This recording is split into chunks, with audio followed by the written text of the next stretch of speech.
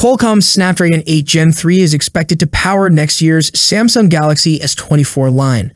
While the chip isn't performing as fast as the iPhone 15 Pro's A17 Pro in terms of the processor unit, the Snapdragon's GPU, however, could easily make the Galaxy S24 Ultra a true gaming monster. A supposed Vulkan benchmark result of the unannounced Snapdragon SoC was shared by prolific leaker Ice Universe.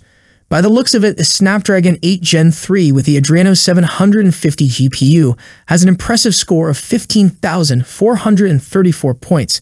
This is notably more than 50% higher than the average score of the Snapdragon 8 Gen 2 with the Adreno 740 at 10,000.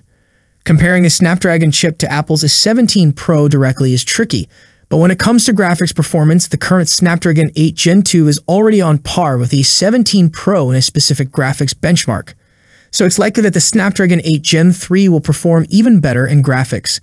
Apple is promoting the 17 Pro for console-like games, so it'll be interesting to see how Samsung markets the Snapdragon 8 Gen 3's advantage. It's unclear whether the Galaxy S24 will have a custom Snapdragon 8 Gen 3 chip like the Galaxy S23 with an overclocked processor, but the GPU performance should remain impressive across different variations of the chipset.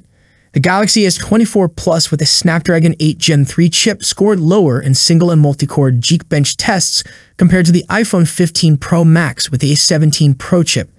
The iPhone seems faster in these tests. The Snapdragon 8 Gen 3 uses a 4-nanometer manufacturing process, while the 17 Pro in the iPhone uses a more advanced 3-nanometer process. There are also rumors that Qualcomm might release both 3-nanometer and 4-nanometer versions of this chip.